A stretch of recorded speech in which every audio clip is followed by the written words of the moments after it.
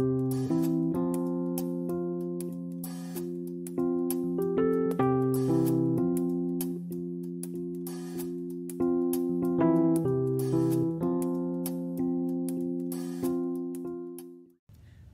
to another episode of Poetry Online. And we're again in our lovely lecture theater at the North Battleford Library. So I have a few more poems for you. Getting down to the nitty gritty, I'm almost done all the ones I've written, so I will rely on you guys. Hopefully, you will send me some poems that I can read for you for the club. Well, let's get started. Okay, first one I have is A Disappearing Landmark, and it was written March the 4th, 1999. Many are disappearing against the prairie sky. Unless people do something, a way of life will die. For years they have represented a landmark to the plains. One by one they're coming down, what will hold the farmer's grain. The local elevator was a place to ship the grain by railway car on to the port. Now our highways feel the strain. It was a source of news between the farmer and the buyer, grain prices and the chemicals that the farmer would require.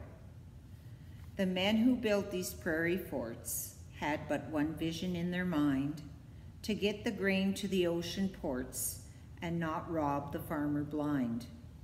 But now they say they can't compete. On a global scale, things must change.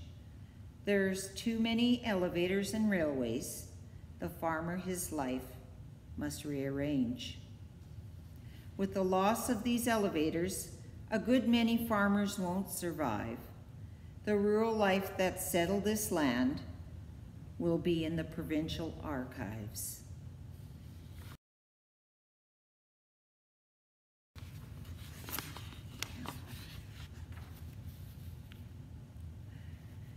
The next one I have, I don't have a date for it.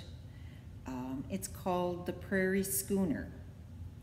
Most prairie folks have yet to see an ocean ship, much less the chance to sail upon the seas. The one they can claim to have seen each spring is the prairie schooner tossing soil into the breeze. They come in an array of colors, red, blue, or green, dotting the level countryside with seagulls close behind. Traveling many hours with a single goal in mind is the farmer's ship of hopes and dreams not yet seen.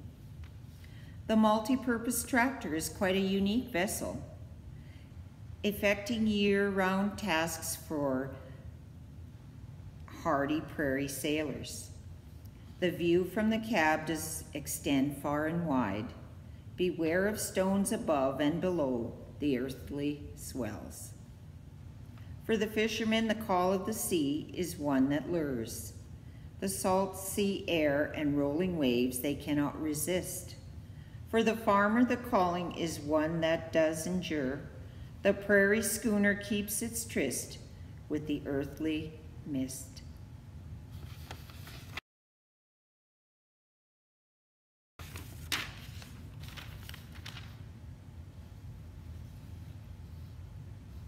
The next one I have is called One That Touches Every Heart. This one doesn't have a date either.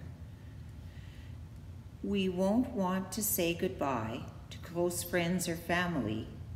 There comes a day in all our lives when a soul must now fly free. Each port of life is but a stage. Everyone does have their part, and every now and then there is one that touches every heart.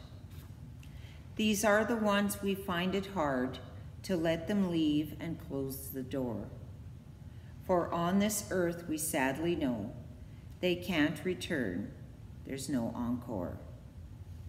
As brief as life is in this world, we must learn to appreciate the special people in our lives.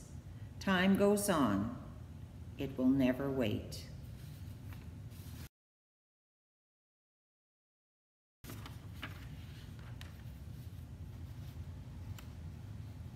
Another one I wrote, I've always been interested in World War One and World War Two and and subsequent subsequent wars since.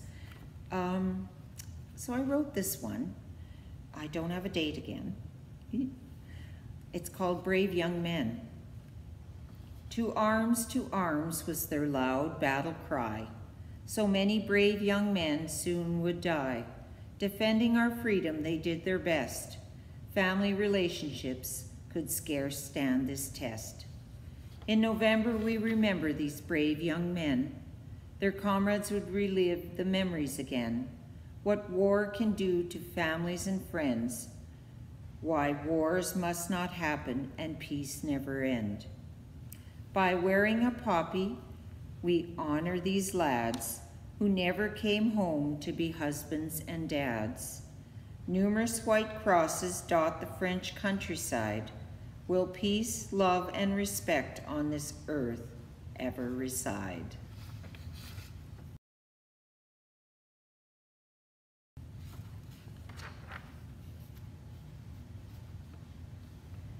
And the last poem that I have today is called A School Reunion, on a little lighter note. Okay, um, this was written actually in 1998 because it was my 20 years of being out of high school. So here we go. Two consecutive decades have simply flown by since the class of 78 said a final goodbye to friends and teachers with tears and a sigh last but not least to good old Stobart High. Many of us thought the adult world was the place to be. Away from textbooks and exams, we would all be free. No one would be there to tell us what we had to do. What life was all about, we certainly didn't have a clue. I think most of us didn't realize just what we had. We all wanted our freedom from the mums and dads. We thought we would see each other all the time. Hey, we were 18 years old and truly in our prime. We found out the hard way that life has its ups and downs, whether it's being single, married, or with kids around. We had a profound beginning at Old Stobart High. It certainly is marvelous to see you girls and guys. Well, I hope you enjoyed those poems today. And we will see you next time for Poetry, the Poetry Club online. You take care.